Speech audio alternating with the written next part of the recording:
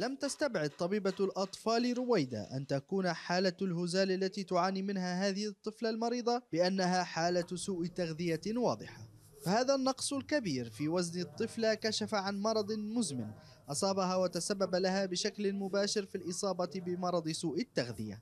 في من أطفال يترددوا عنا معلش للأسف يعني ما في ما فيش تشخيص يعني كويس. مثلا آه، يصدف مثلا هو عنده مشكلة مزمنة ما فيش حد مكتشفها ما فيش حد يعرفها فهو يكون عنده زيادة الوزن ضعيفة لأنه علاش؟ لأن المشكلة هي الصحية. مثلا إنه عنده مثلا مشكلة في القلب مشكلة في الصدر في أي مشاكل صحية ثانية في عندنا أطفال عندهم حساسية اللي هي القمح حساسيه حساسيه الشعير والقمح إن هم مثلا ما ياخذوش ما فيش حد مثلا متشخص لها فيكون عندهم حتى هو في نزول في الوزن.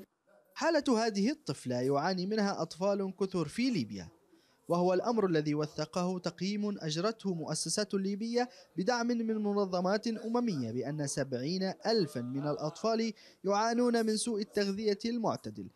الذي إذا لم تتم إدارته في الوقت المناسب فإنه سيؤدي بهم إلى سوء التغذية الحاد. ننصح بالاتزان في الطعام. يعني ما يكونش طعام فقط نشويات وهذه يعني المائدة الليبية. إحنا نعانوا منها الخبز العلبة وكذلك النشويات في الغداء والنشويات في هذه نعانوا منها صحيح. يعني علبة كذلك ننصح بالاكثار بالفاكهة والاكثار بالخضروات وما إلى ذلك. كذلك ننصح بالابتعاد عن اللي هو أكل المطاعم وال fast food وهي المشكلة الرئيسية يعني منها حاليا العالم كله. يعني سواء كانت من الناحيه الغذائية إن هي يعني تحتوي على سعرات حرارية عالية جدا جدا جدا وكذلك مشاكلها من ناحية العدوى. سواء كانت يعني اللي هي العدوى البكتيرية أو كانت عدوى يعني اللي هو النزلات المعوية.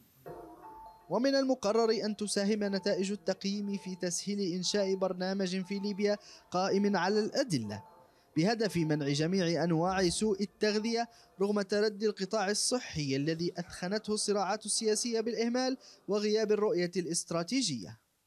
عشرات الآلاف من أطفال ليبيا يعانون من سوء التغذية التي تحاول منظمات دولية تسليط الضوء على مخاطرها على حياة هؤلاء الأطفال والعمل على الحد منها بشتى الوسائل الممكنة.